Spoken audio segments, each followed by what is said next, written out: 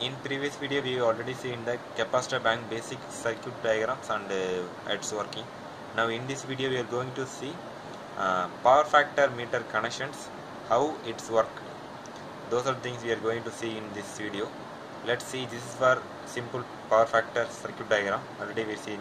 This is for incoming uh, this is for 5 kVR and 10 kVR two capacitor on here. These are the step 1 step 2 this is for conductor 1 conductor 2 it, this is for fuses. Already we seen this one so not required for C for all the things. Now we are going to see power factor meter connection. What is this? Power factor power factor meter connection. Meter okay. This is a power factor meter. In this power factor meter having a two terminal lot of terminal. First two terminal we take this one is S1 and S2 this is for CT terminal of MDB CT terminal of MDB this CT will read uh, power factor from the MDB incoming. This will be provided in MDB so that place to to where are we take in connect to him here. Take some reference from the red face or any of the faces and then next I have having a auxiliary supply phase and neutral. Or any of the auxiliary supply as per the meter auxiliary supply.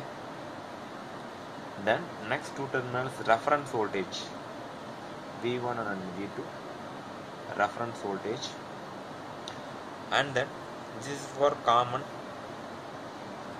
Then step 1 step 2 step 3 then this may the based on the power factor meter how many steps of the the based on that one here mentioned in step 1 step 2 so we now here connect to some space voltage.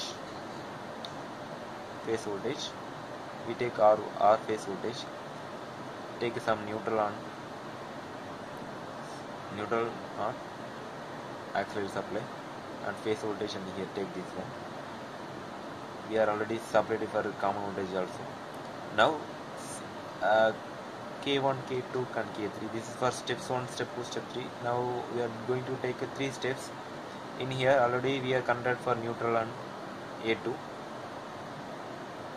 now take a1 to connect step 1 and then in a1 to connect step 2 now this power factor meter going to connect at step 1 step 2 as per the power factor lagging and leading. These are the things will be take information from the CT coil and then these power factor meter send the information to conductor switched on or switched off.